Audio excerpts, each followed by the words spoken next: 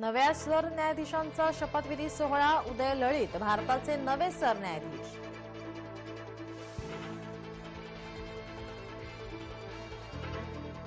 पंतप्रधान मोदी दोन दिवसांच्या गुजरात दौऱ्यावर अटल पुलाचे उद्घाटन करणार. स्मृती वनसह विविध प्रकल्पांचे उद्घाटन आणि भूमिपूजन करणार.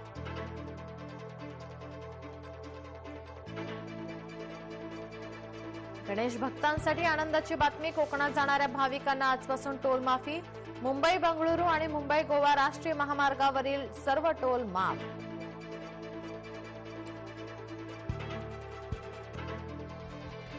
किरीट सुम्यांची खेड दापोली पायी यात्रा. अनिल परवांचे रिसॉर्ट पाडण्याचे आदेश. दापोलीत सोमयांचा दौरा. पोलीस बंदोबस्त तैनात.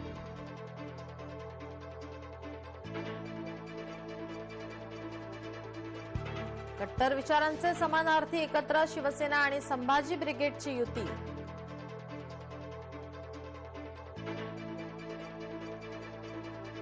मुंबई गोवा महामार्गाच्या खड्ड्यांवरून आरोप प्रत्यारोप महामार्ग केंद्राच्या अखत्यारीत येतो राज्याच्या नाही.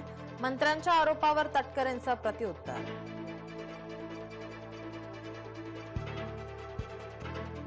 ब्रिगेडसोबत घरोबा केल्याने ठाकरे लक्ष बिगर शिवसेना घटकांकडून.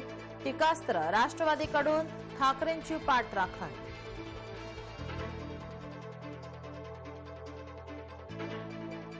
आणि राज्यात पावसाची उघडीप एक सप्टेंबरपासून पावसाचा जोर वाढण्याची शक्यता हवामान विभागाचा अंदाज.